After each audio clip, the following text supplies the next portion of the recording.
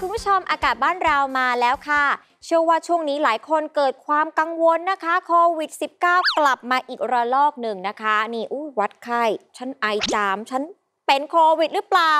ก่อนจะเป็นโควิดสงสัยจะเป็นโรคเครียดก่อนคุณผู้ชมคะใจเย็นๆค่ะ ครั้นจะไปตรวจเนี่ยก็กังวลว่าจะมีค่าใช้จ่ายในการตรวจตามมาอีกหรือไม่ วันนี้มีข่าวมาบอกกันนะคะ สปสชย้ำค่ะว่าคนไทยทุกคนมีสิทธิ์เข้าข่ายอยู่ในกลุ่มเสี่ยงไปตรวจหาเชื้อโควิด -19 ได้ฟรี ไม่ต้องกังวลเรื่องค่าใช้จ่ายได้เลยนะคะ แต่เข้าหลักเกณฑ์อะไรบ้างเดี๋ยวมาบอกกันค่ะ ตอนนี้เช็คสภาพอากาศบ้านเรากันก่อนนะคะ ภาคเหนืออากาศเย็นถึงหนาวกับมีหมอกในตอนเช้า และมีหมอกหนาในบางพื้นที่ อุณหภูมิสูงขึ้น 3-5 องศาเซลเซียส บริเวณยอดดอยมีอากาศหนาวถึงหนาวจัด อุณหภูมิต่ำสุด 6-14 องศาเซลเซียส ภาคตะวันออกเฉียงเหนืออากาศเย็นถึงหนาวตลอดช่วงกับมีหมอกในตอนเช้า และมีหมอกหนาในบางพื้นที่ อุณหภูมิจะสูงขึ้น 3-5 องศาเซลเซียส บริเวณยอดภูมิมีอากาศหนาวถึงหนาวจัดค่ะ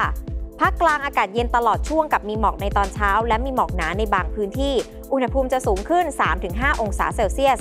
ภาคตะวันออกอากาศเย็นตลอดช่วงกับมีหมอกในตอนเช้า อุณหภูมิจะสูงขึ้น 2-4 องศาเซลเซียส ทะเลมีคลื่นสูงประมาณ 1 เมตร ห่างฝั่งคลื่นสูงประมาณ 2 เมตร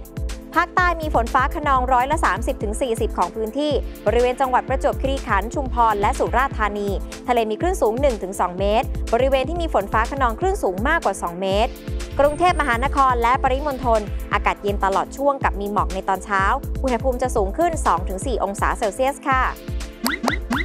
มาค่ะคุณผู้ชมคะมาดูกันสิคะว่าหลักเกณฑ์ใดบ้างที่จะเข้าตรวจโควิดได้ฟรีนะคะคนที่จะเข้าเกณฑ์ได้รับการตรวจหาเชื้อโควิดฟรีนั้นมีข้อกำหนดอยู่ค่ะ คือจะต้องมีประวัติเสี่ยงอย่างใดอย่างหนึ่ง ในช่วง 14 วันก่อนมีอาการค่ะ อย่างเช่น เป็นกลุ่มที่เดินทางมาจากเขตติดโรค หรือพื้นที่ที่มีการระบาดต่อเนื่อง ประกอบอาชีพที่สัมผัสใกล้ชิดกับผู้ที่เดินทางมาจากเขตติดโรคค่ะ ข้อ 2 กรณีที่มีอาการเข้าข่ายโควิด -19 อย่างใดอย่างหนึ่ง เช่น ไอจาม มีน้ำมูก เจ็บคอ หายใจเหนื่อยหอบ จมูกไม่ได้กลิ่นลิ้นไม่ได้รับรสค่ะข้อ 3 กลุ่มผู้ป่วยปอดอักเสบที่มีประวัติอย่างใดอย่างหนึ่ง คือใกล้ชิดกับผู้ป่วยที่ต้องสงสัยว่าเป็นโควิดค่ะ กลุ่มเหล่านี้สามารถเข้ารับการตรวจหาเชื้อได้ฟรีที่โรงพยาบาลตามสิทธิ์ ทั้งหลักประกันสุขภาพแห่งชาติบัตรทอง สิทธิประกันสังคม สิทธิข้าราชการค่ะ โดยระหว่างที่เดินทางไปตรวจนั้นก็อย่าลืมนะคะสวมหน้ากากอนามัยด้วยค่ะ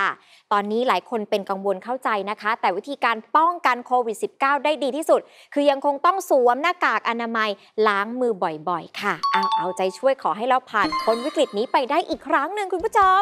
หมดเวลาของอากาศบ้านเราแล้วนะคะ พักกันสักครู่เดี๋ยวติดตามตลาดข่าวกันต่อค่ะ